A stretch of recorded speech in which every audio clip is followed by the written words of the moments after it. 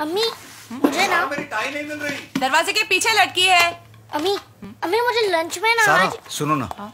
अब घड़ी नहीं मिल रही है। तकिए के नीचे देखा। अरे हाँ। हेलो। अम्मी सुना ना। सारा बेटा तुम्हारा ड्राइवर वेट कर रहा है। बस अब वो निकल रही हूँ दो मिनट। ये लंच आपका? अच्छे से खा लेना आई सी यू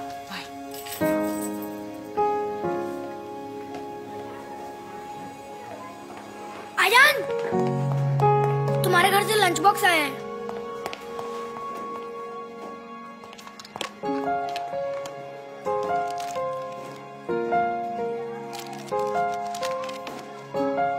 अयान बेटा, कभी ये मत समझना कि तुम्हें सुनने के लिए मेरे पास टाइम नहीं है। मुझे अच्छी तरह मालूम है कि तुम्हें कब किस चीज़ का दिल करता है।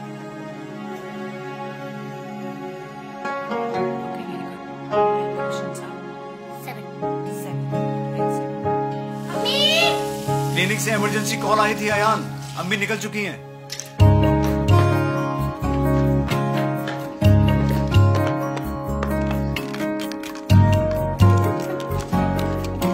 बेटा एग्ज़ाम लिखने से पहले एक बात समझ लो।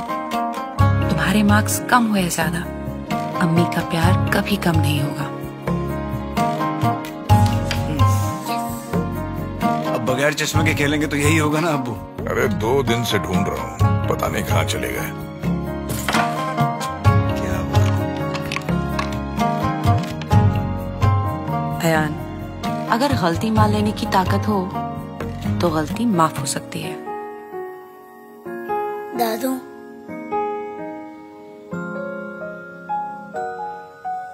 अच्छा हुआ टूट गए। वैसे भी काफ़ी पुराने हो गए थे। कल नए ले आते हैं हैं?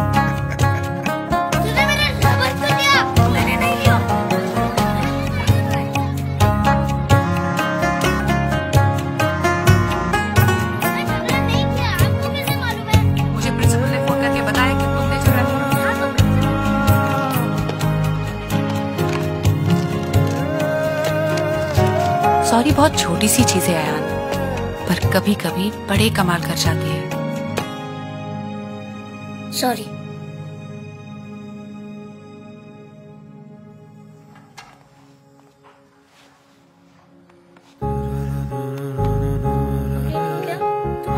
नाश्ता अच्छे से कर लेना।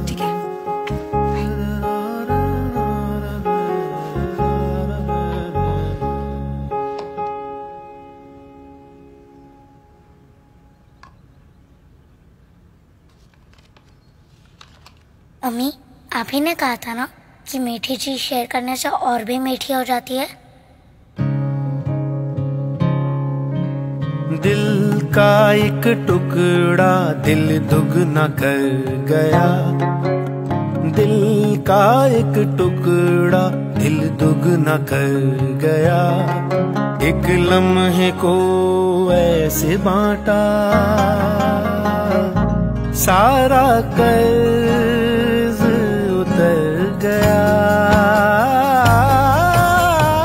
रिश्तों की एक अलग ही मिठास होती है। पीक फ्रीन्स का केकअप रियल फीलिंग्स के साथ।